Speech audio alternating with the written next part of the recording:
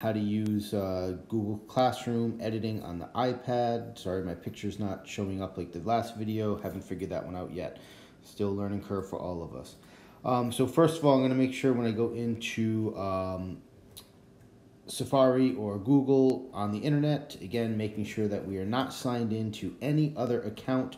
Um, again, that will kind of screw us up, so make sure your parents, your brothers, sisters, things like that are not signed in as well. So I'm going to go ahead and close that and I'm going to open up my Google Classroom app, which is here. Okay, so I had already previously gone in and signed in as Mia. So again, Mia and Olivia, thank you very much. So I'm going to scroll down until I find um, Science. So I'm going to open up my Purple Science. Now I can go ahead and go to classwork, which again is down at the bottom of the screen. I know I don't have a pointer, but you guys can see classwork all the way down at the bottom. I'm going to click on classwork, and then I can click on the assignment, chapter 5, lesson 2, and we, it's going to open up.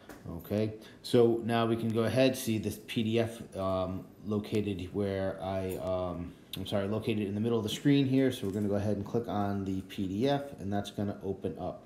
When that opens up, you're going to see that in the upper right hand corner, there should be a pencil icon. Again, this is for an iPad. Um, I believe it will work on any, any other tablet as well, um, but I can't guarantee that. I'm, i do know that, the, that this is how it works for an iPad. So once we hit that little pencil button,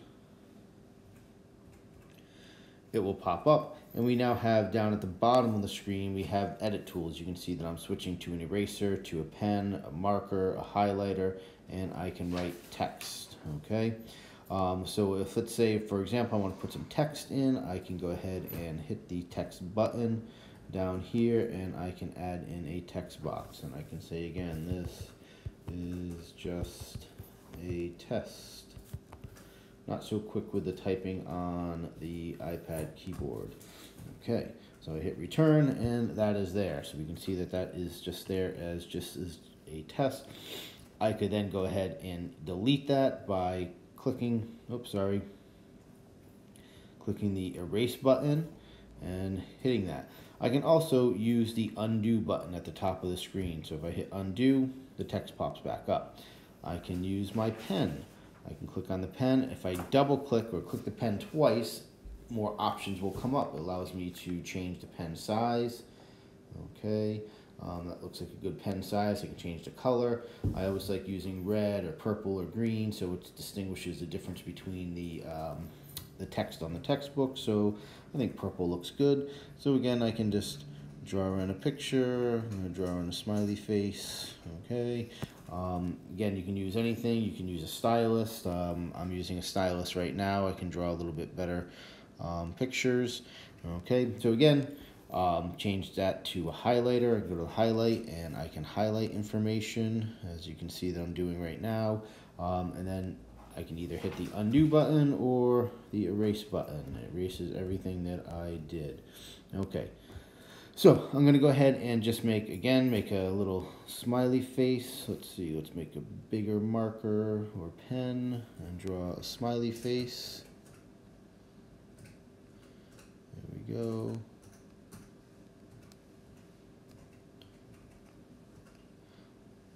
All right. So now when I'm done, what I want to do is I can tap the screen and I'm going to hit save. It looks like it's um, blacked out, but I'm going to hit the save anyways. Um, and it's going to pop up. It's going to start to save my work. I'm going to give that a second to do that. So again, while we're waiting for this to save, a lot of times, again, it's glitching out, so it takes a while. So it pops up and it looks like you haven't edited anything. All right, but now we can go ahead and close that. And when we click my work, it says edited at the very top. So once I, if you guys can see this tab down here at the bottom, you keep clicking, I can click up and down, swipe up, and that brings up my work down at the bottom of the screen.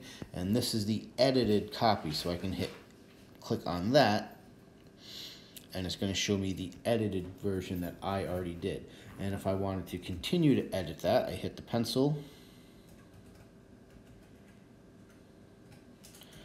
And we can continue to edit. Okay, so just gonna draw some squiggly lines. So again, you can see I hit the save, even though it looks like it's blacked out, it is there. So I'm gonna hit the save.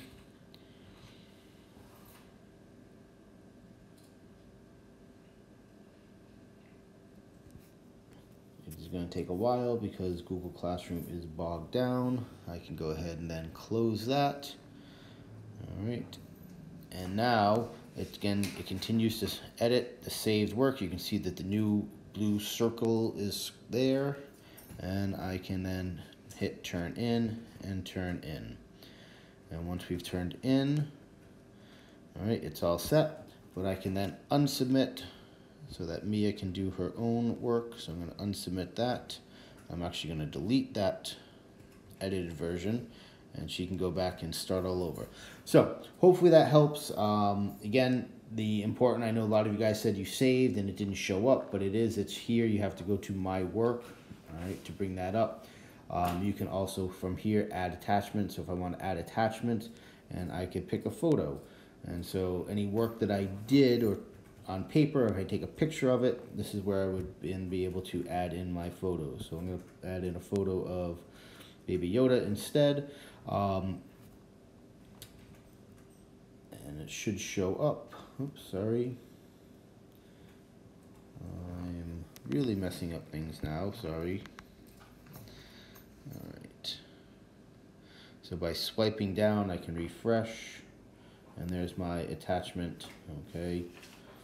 And it's just a picture of Baby Yoda. Alright. I'm going to close that.